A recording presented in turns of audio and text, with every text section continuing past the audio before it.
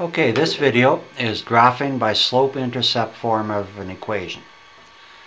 Okay, now the slope-intercept form of an equation is something where you have y and you have some sort of number like 3 sevenths, you have an x and you have another number like negative 2. Okay, we have found out that this number in front is the slope of your line. Now it just so happens that this other number here is one of the two intercepts of your line. In this case, we call it B, and that stands for the y-intercept of the line. The y-intercept of the line is negative 2. Now once you have it in this form, uh, it's really easy to graph. As a matter of fact, you're only about 30 seconds away from drawing the graph.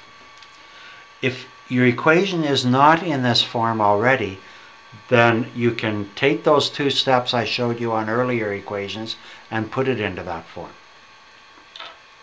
Okay, now I call this the two-picture method.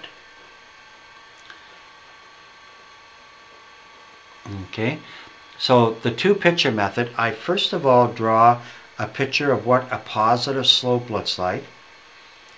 I put my triangle underneath the line always. Okay, and I notice on the fraction it has a 3 higher than a 7.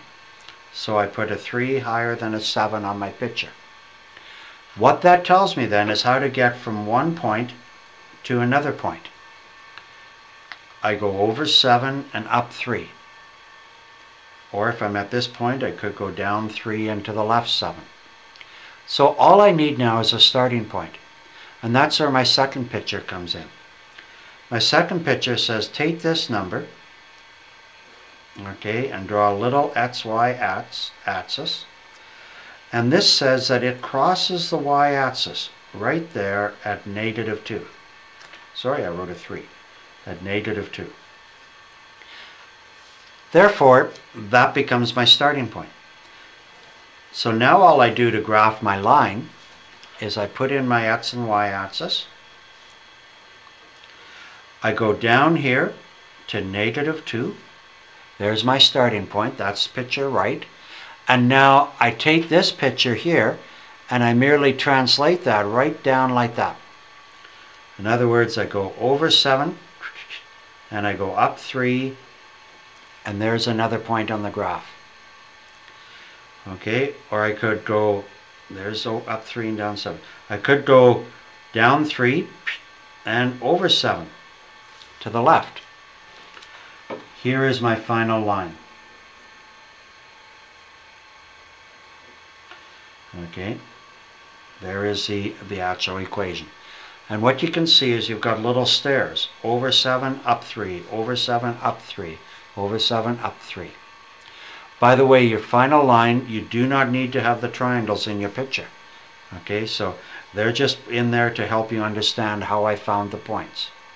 And all I did to find the points is I took my little picture up here and I just translated it down like that, so I'm starting at negative 2. Okay, let's try another one very quickly. Uh, let us assume that after we have solved for x, I have negative 3 2's, x plus 4. Here is my first picture. I draw a negative line and I put a 3 over a 2. Here's my second picture. I draw an xy axis and on the uppy downy, the y axis, at positive 4, I put my starting point. Now I go to my graph and right here at 4, I put my first little X. Now what I'm going to do is take this picture right there from my little picture and I'm going to draw it right down there. So I'm going to go over 3, uh, sorry, over 2 and up 3 and put an X. Over 2, doo -doo -doo up 3, put an X. Or down 3 and over 2, put an X. And when you're through, there is your line. Okay, This time I put my little squares in as dotted lines. And I, I remember that's not part of the answer. The, the answer is just this line here. But you'll see again, I am mimicking this picture up here. On each one I'm going over 2, up 3, over 2, up 3, over 2, up 3 in the negative direction just like this picture says. So what you should try and do is see if you can get a gut feeling for what a slope that like that looks like. That's a really important part of this. You must have an understanding of what a slope like that looks like. And the whole equation, if you put it into some sort of form, we usually write it as y equals mx plus b. And that's called the slope-intercept form of the equation. Okay, there is the y-intercept, there is the slope.